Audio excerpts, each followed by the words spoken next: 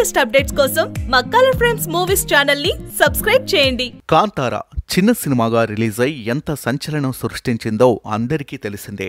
కన్నడలోనే కాకుండా తెలుగులోనూ హిందీలోనూ సంచలన విజయం సాధించింది. ఈ సినిమాలో హీరోగా నటించడంతో పాటు దర్శకత్వం కూడా అద్భుతంగా చేసిన talented hero and director Rishab Shetty. ఈ ఒక్క సినిమాతో రిషబ్ శెట్టి పేరు మారుమోగుతుంది కన్నడలోనే కాకుండా తెలుగు హిందీలో కూడా రిషబ్ శెట్టికి బాగా పేరు వచ్చింది. దీంతో రిషబ్ శెట్టితో సినిమాలు చేసేందుకు బడా ప్రొడ్యూసర్స్ ఇంట్రెస్ట్ చూపిస్తున్నారు.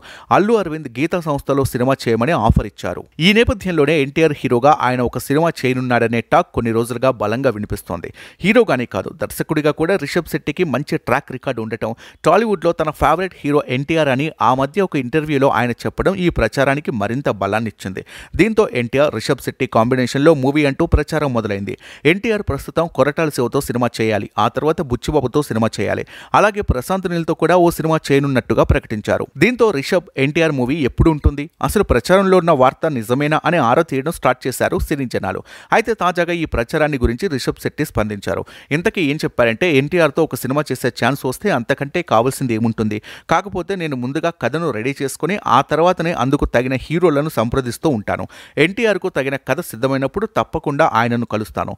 ప్రస్తుతానికైతే అలాంటి కథలేవి నా దగ్గర లేవు అంటూ ఈ ప్రచారానికి ఫుల్ స్టాప్ పెట్టే ప్రయత్నం చేశాడు రిషబ్ శెట్టి.